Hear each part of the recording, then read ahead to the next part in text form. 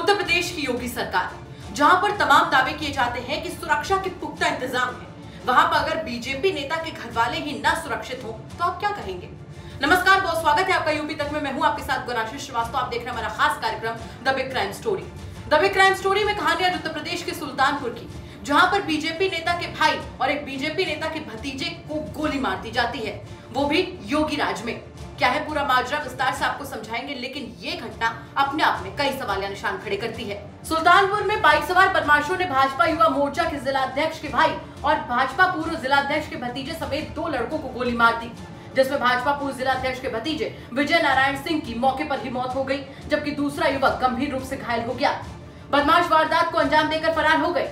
मौके पर पहुँची पुलिस के मुताबिक सभी साथ बैठकर पार्टी कर रहे थे, जिसमें बिज़नेस को लेकर विवाद हो गया और इस घटना को अंजाम दे दिया गया।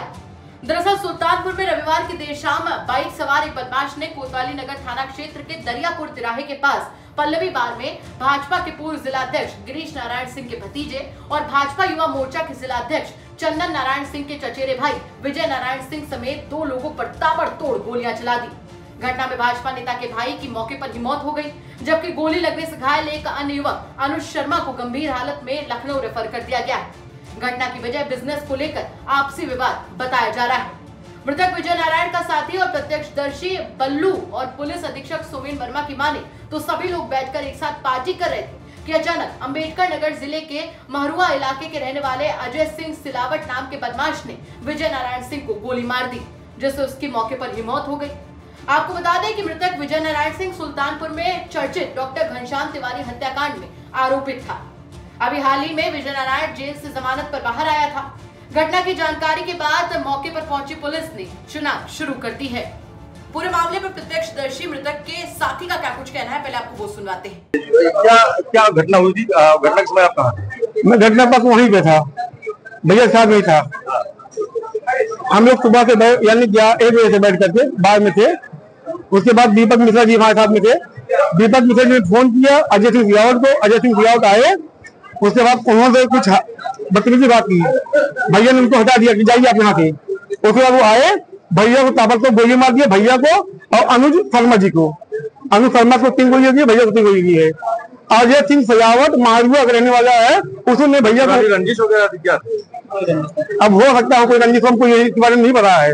लेकिन अजय सिंह सजावट ने भैया गोली मारा है। साथ में दीपक मिश्रा जी साथ में थे। भारत भूषण हत्याकांड के आरोपी है वो दीपक मिश्रा। वहीं इस मामले में पुलिस क्या कुछ कह रही है? चलिए वो भी सुनवा देते हैं आपको। आज थाना कोतवाली नगर क्षेत्र में विजय नारायण सिंह और उनके साथी जब पार्टी कर रहे थे उसी बीच पार्टी करने वालों के लोगों के बीच में झगड़ा हुआ किसी बात को लेके। और सूत्र के मुताबिक एक व्यक्ति जिसका नाम अजय सिंह, उसने इस व्यक्ति को विजय नारायण सिंह को गोली मारा, जिसमें उनकी आज देहांत हो गई। बॉडी पोस्टमार्टम के लिए और अग्रिम कार्रवाई हेतु डिस्ट्रिक्ट हॉस्पिटल पहुँचा दिया गया है। छः पुलिस टीम गठित कर दी गई है। लगातार कार्रवाई हो रही है। पुलिस को कुछ इंपॉर्टेंट फुटेजेस मिले हैं। उसके साथ साथ पुलिस दो व्यक्ति को हिरासत में ले लिया है। आवश्यक कार्रवाई की जा रही है। इसमें सख्त सख्त कार्रवाई की जाएगी। धन्यवाद। जरा सोच कर देखिए कि उत्तर प्रदेश सरकार में, यानी कि जिनकी सरकार है, उन्हीं के घर वाले सुरक्षित नहीं है।